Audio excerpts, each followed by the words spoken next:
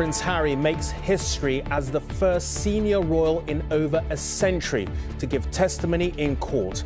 Arriving under the glare of the press cameras, the King's son cross examined for hours by a King's Counsel.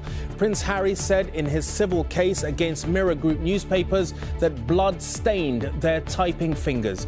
We'll examine what this all means, not just for Harry, but the royal family and the British press. Also, news at 10 tonight. A torrent of water threatens thousands and floods Ukraine's front lines. Kyiv accuses Moscow of causing the disaster. The PGA throws its lot in with Saudi backed LIV Golf. Sports washing or the best and most realistic outcome for golf? Special report on America's addiction to guns, a nation where there are more bullets than people. One beat officer told me she sees guns almost every single day, and some of her colleagues who've served in Afghanistan think these streets are more dangerous. And you may fail first,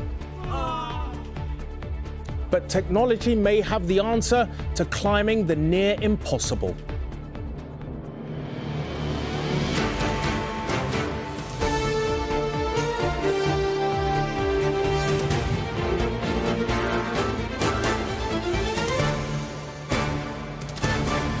This is ITV News at 10 with Rageh Omaar. Good evening. Prince Harry spent today, as he has much of his life, at the centre of the world's attention. But even for him, this was new territory.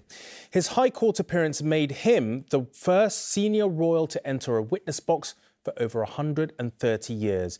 It was a defining moment in what he's called his life's work to reform the British press and how it reports on public figures and their private lives. It was a showdown 38 years in the making. During nearly five hours on the stand and through a written statement, he unleashed a series of broadsides against the Daily Mirror's publisher, which he accuses of phone hacking. Harry spoke of how constant intrusion left him deeply paranoid and cost him precious personal relationships. This is about more than what he believes, though.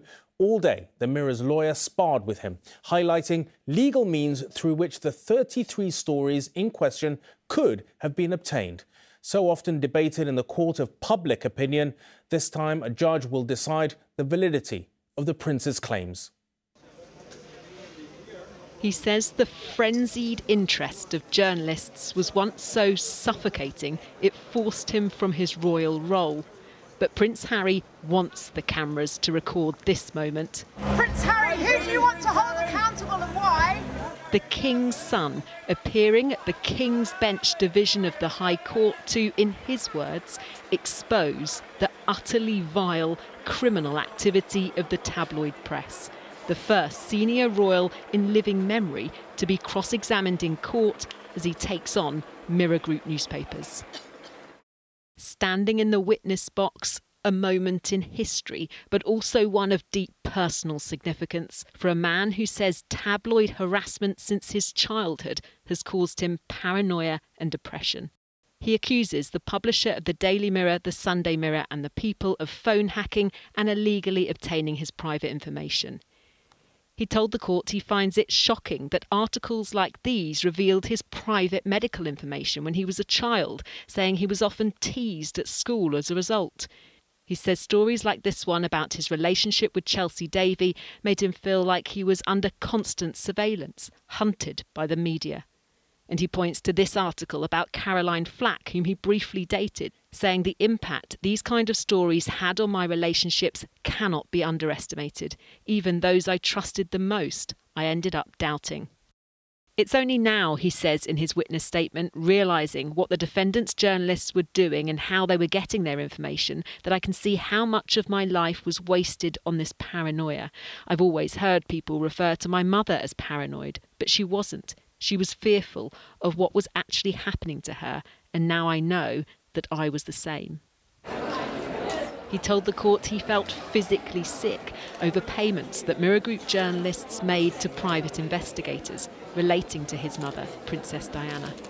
He singles out former Daily Mirror editor Piers Morgan for criticism, saying the thought of him earwigging to his mother's private messages makes him even more determined to hold those responsible accountable for their vile and entirely unjustified behaviour. You continue to trash her. OK, I'm done with this. No, no, no. Piers Morgan's past comments about the Duchess of Sussex cost him his job at ITV. Today, Prince Harry accused him of subjecting the couple to a barrage of horrific personal attacks and intimidation. Well, good evening from London. Welcome to Piers Morgan Uncensored, far away from. But on his show tonight, this was his only reference to the globally covered court case. And whining members of the royal family.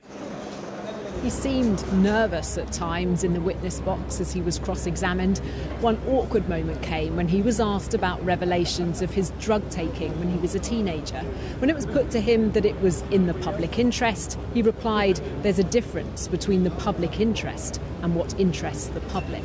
But if he seemed hesitant at all in court, the words of his 55 page witness statement are bold and unwavering. Blood stains the typing fingers of the tabloid press, according to Prince Harry.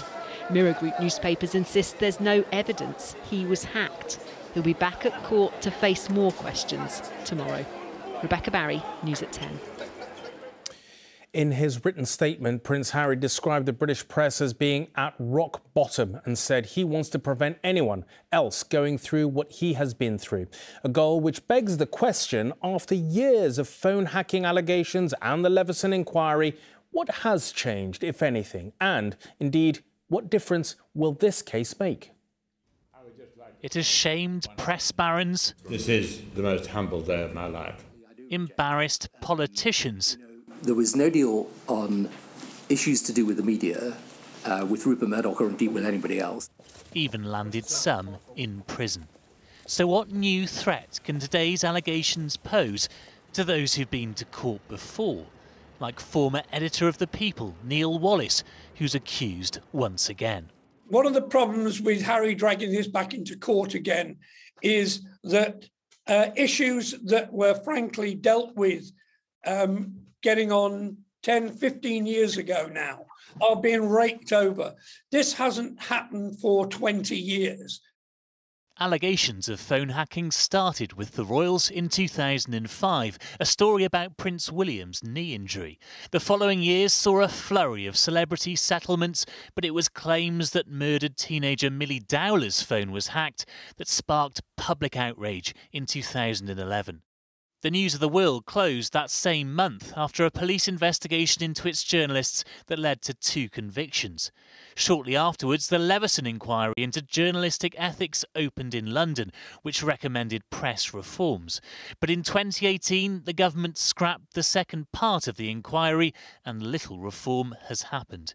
Bringing us to Prince Harry's fresh allegations, which don't just include the Mirror Group newspapers, but separate cases about Associated which owns the Mail and Mail Online, and News Group newspapers of Rupert Murdoch's empire.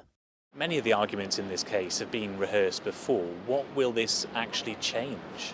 What would be helpful for our democracy would be if we had newspapers subscribing to an independent regulator. But that was the recommendation last time. It didn't happen. Why would it happen this time? Well, it won't happen unless the government get behind it and insist that this becomes legislation. The government won't do that because they prefer to, to get into bed with the press. Prince Harry may be driven to change the media, but will he be the one to finally motivate others? Paul Brand, News at 10 at the High Court. And I am joined now by both Rebecca and Chris to, to, discuss all of this. To you first, Rebecca, what do you think are going to be the consequences for all of this for Mirror Group if, the, if, the, if they lose this case? Well, it's, it's a civil trial, not a criminal one. So the judge has to weigh up on the balance of probabilities whether to believe Prince Harry. If he wins, he could be awarded damages and get a public apology. But the process of airing all this in public is part of his goal. He's never wanted to settle in secret behind closed doors. In the past, Mirror Group newspapers have admitted and apologised for phone hacking. In recent years, they've paid out more than £100 million mm. settling claims. And if they lose this trial, it could open up up the floodgates for many more. And that could be potentially disastrous financially, let alone for their reputation. Then, of course, there's uh, Piers Morgan, one of the UK's best known journalists. It could be potentially damaging for him, especially if he's shown to have lied under oath at the Leveson inquiry. I think if you were to ask Prince Harry, he'd say it's far bigger than any of that. In his lengthy witness statement,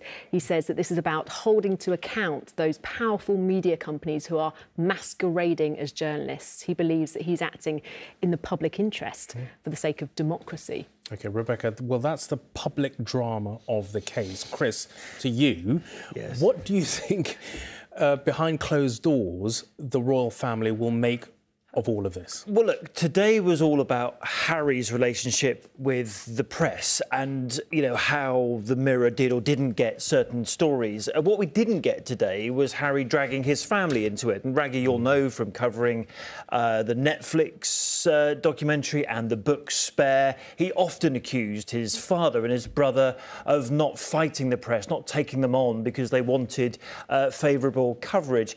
Uh, so, you know, to, to, that end, I think they might uh, breathe a sigh of relief uh, tonight. However, there's always tomorrow. And of course, tomorrow he's got another half day with this uh, Mirror Group uh, newspaper lawyer. Mm. And then, if he so chooses, his own lawyer, David Sherborne, can ask him some questions as well. Clearly, that'll be much less uh, combative. I just think at the end of the day, you, you can't not feel uh, so a lot of empathy for Harry. He mm. painted a picture of, a, of, an adolescence, at least, yeah. that was very unhappy, full mm. of paranoia. Uh, and I think, you know, a lot of people will feel for that. But as Rebecca was just saying, the job for the judge here is not to decide on whether Harry was happy or actually whether these stories were true or not. It's how they got the stories and whether it was done lawfully. OK. We'll be visiting this for the next few days. Thank you both, Rebecca and Chris. To Ukraine now, where for well over a year people have endured bombs and bullets, their lives being torn apart. But today, a new terror swept across Ukraine's already ravaged lands when millions of litres of water burst free after a huge dam was blown up.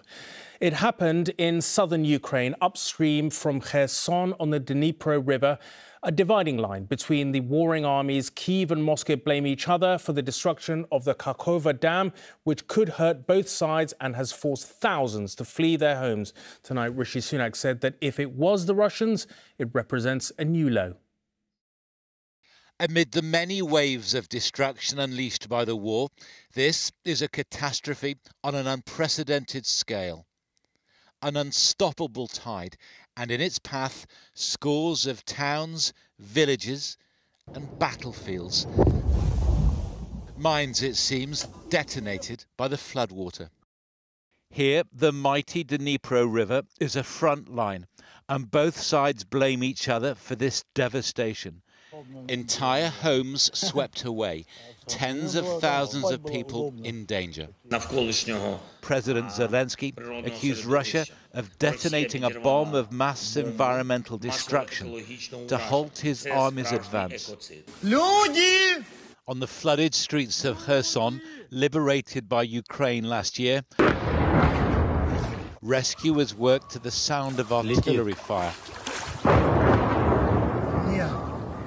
Many homes have been evacuated, many vulnerable people taken to safety, already exhausted by months of conflict, forced again to find fresh shelter.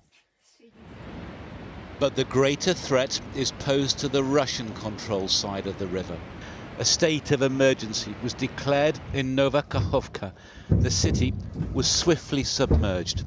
This Russian appointed governor claimed a Ukrainian missile strike had destroyed the dam, which also threatens drinking water supplies in Crimea, Russia's most prized conquest, where the Kremlin mobilized these emergency workers.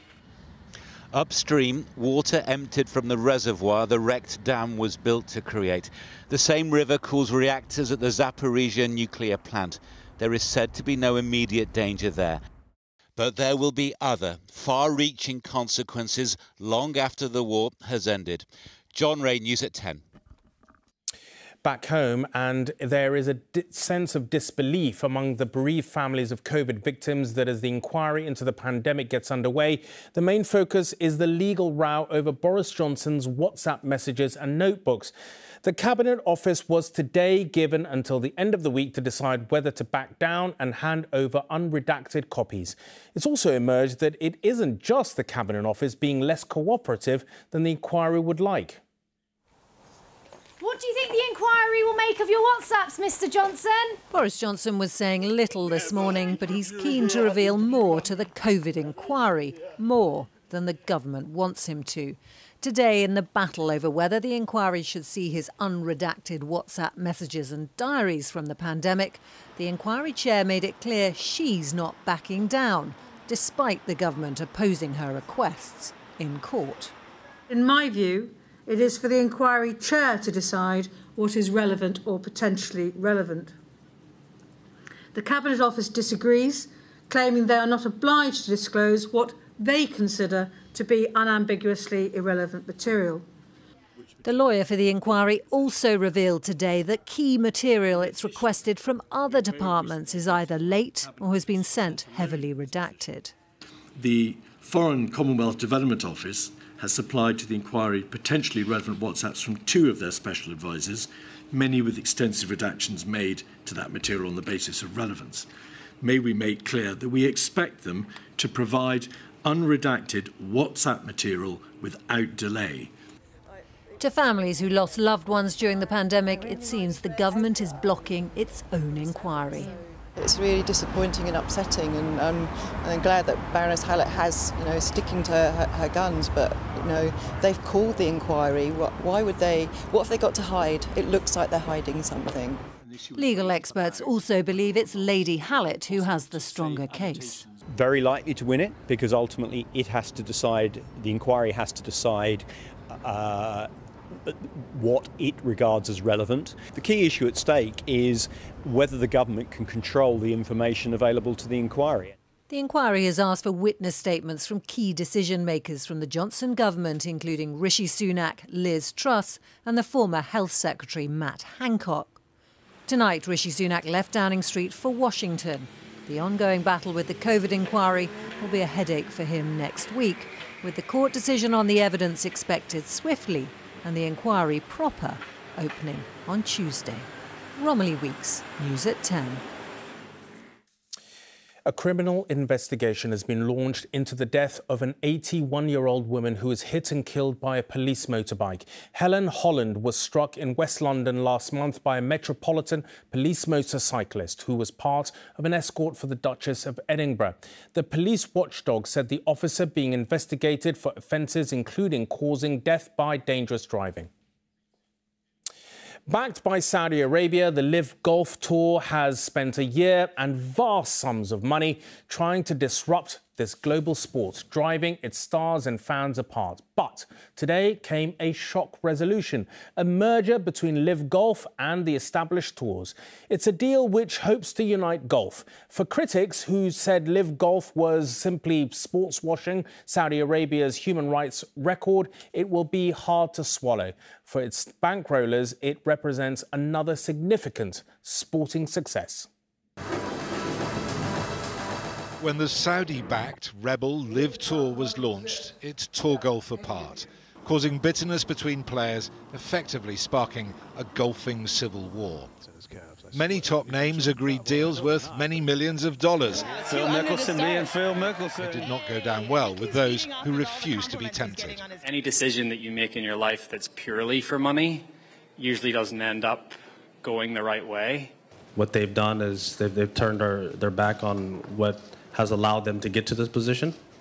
Under a cloud of controversy, LIV Golf was launched last year as a challenge to America's PGA Tour. It was bankrolled by Saudi Arabia's Public Investment Fund, which also owns Newcastle United. Unthinkable only a few months ago, LIV is now merging with the PGA Tour and the DP World Tour, formerly known as the European Tour. There is no question, no question, this united front has the potential to positively shape the future of golf. And of course, it also marks the end of the division in our game. and the start of a new chapter in its evolution. Certainly not the message the established golf world was preaching about LIV until only recently. Money, it seems, as opposed to the rival tour's new formats, has changed everything. We've watched this slowly unfolding um, story of Saudi just uh, going to one sport after another, using their deep pockets to buy their way into those sports. And they're doing that from our perspective in order to continue to improve their international reputation. There are some very uncomfortable days and weeks ahead for those who remain loyal and are now being told to welcome those who weren't back into the family, very much richer than when they left. Steve Scott, News at 10. Evidence from one of ITV's bosses in Parliament today wasn't meant to be about Phil Schofield's scandal. In theory, that, that's reserved for Chief Executive Dame Carolyn McCall's appearance next week. Well, unsurprisingly, though, it came up anyway. Magnus Brooke was asked about comments from this morning editor Martin Frizzell, who, in response to allegations of a toxic environment on the programme, said he thought aubergines were toxic. This was Mr. Brooks's response. It was extremely ill judged uh, to say what he did. Uh, but look, I can reassure you on behalf of ITV that we do take uh, all of these allegations very seriously, precisely because we do have a culture uh, uh, uh, in which people's conduct it, matters enormously to Is ITV. his position secure after that? that's not a question for, for me, and it's not a question for now. Responding to claims that the show is a very unhappy place. Mr. Brooks said ITV has a very sophisticated and significant system of safeguarding and duty of care in place.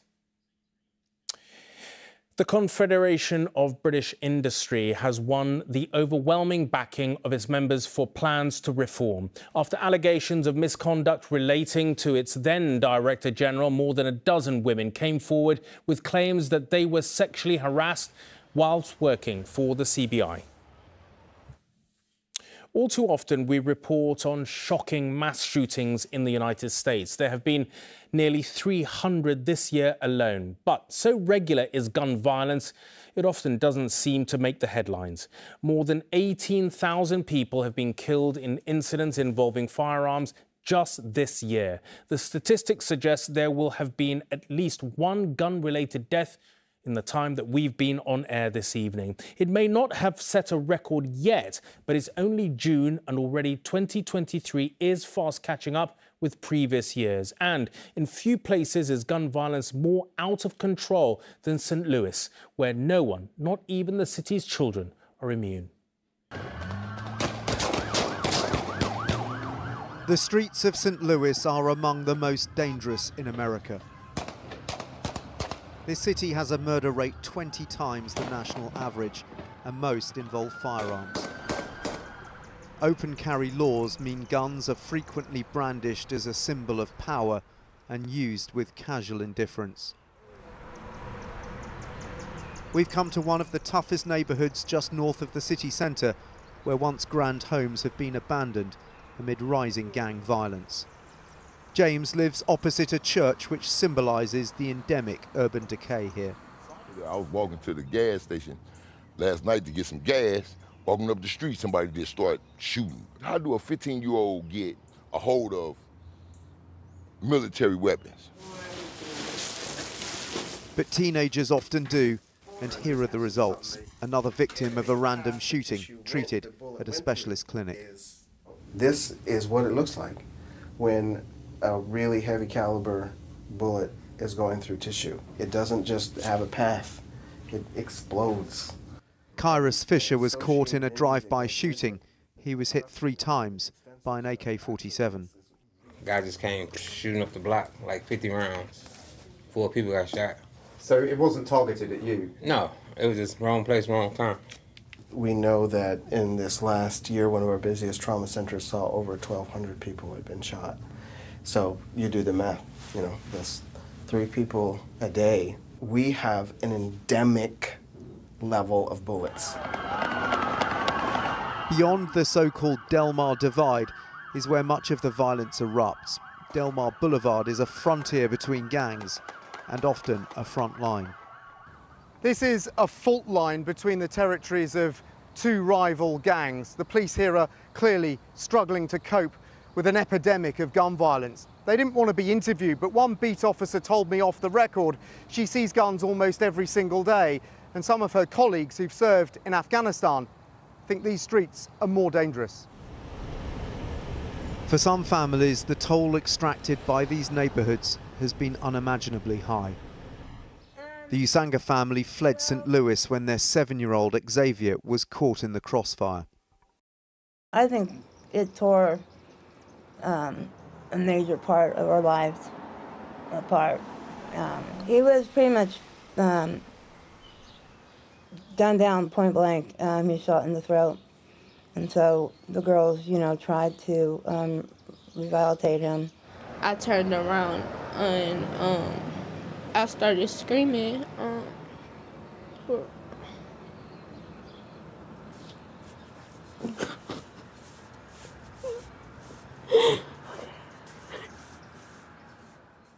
Six, seven year old. Funeral director William Harris Jr. has buried too many children like Xavier. It's out of control, and we're the, the number of children that we're burying is just is astronomical. We've got to do some kind of community service where we're getting to these young folk and you know giving them a different outlook on things, as opposed to picking up a gun. The music scene in St. Louis reflects the violence on the streets. When they get home, we gon' kill some ops and smoke our enemies. The 18 year old rapper seen here went to prison a few months ago for shooting a man dead. New figures show there have been 70 murders so far this year. That's almost one every other day. A cycle of violence which cements St. Louis's reputation as one of America's most violent cities. Dan Rivers, News at 10, St. Louis. Back here, London Irish have become the third casualty of the financial crisis gripping rugby's premiership. The club has been suspended after neither the current owner nor an American consortium hoping to buy it could prove they had the money to compete in the league next season. London Irish also missed a deadline to pay staff and players. And finally, there's not much 3D printers can't produce clothes, homes, even now prosthetic limbs. Now the technology has been used to by, uh, by, a British, by a British man to conquer one of climbing's toughest challenges. The Burden of Dreams boulder stands a mere four metres tall, but a quick scan of its face reveals how imposing every inch is. Previously, only one person had scaled it, but Will Bosi's printouts provide the perfect guide. In Will Bosi's sport, millimetre movements on the edges of his fingertips mean the difference between success and failure. No! Oh. Earlier this year, he set out to reach the top of the hardest boulder in the world to climb. Only one man has achieved it before, and he named the rock the Burden of Dreams. It seemed like this completely ridiculous and mythical feat. You know, out in Finland in the woods, this a, like elusive 9A boulder that's just so much harder than anything I'd done or anything I even thought I could potentially do at that time. The boulder is 4 metres high and involves five climbing moves, but set at a 45 degree angle, so climbers practically hang from its almost sheer rock face. Finnish boulderer Nalle Hukkataival became the first to complete it in 2016 after four years and thousands of attempts. So here, Will sped up the process by training using moulds that are exact replicas of the boulder, created from scans and 3D prints of its features. What's amazing with the 3D printing is you get all the detail and all the texture. Basically meant I could have a lot more time actually on the boulder without being there. Is it cheating slightly? it's it's an interesting it is an interesting sort of question to look at. Replica training is something that's been done in climbing for 40 years, but making them exact to the 3D printing definitely has had a lot of discussion. The climbing community seems agreed that unless Will scaled the real boulder on his first attempt, he hadn't done anything wrong, which he didn't. But after a fortnight in Finland, the summit seemed reachable. I felt incredible, and I so almost dropped that last move again. Will's not sure if 3D printing is going to change climbing, But this time, technology has helped bring reality and his dreams within touching distance. Ellie Pitt, News at 10, Sheffield. And that's it from the team and from me. Good night.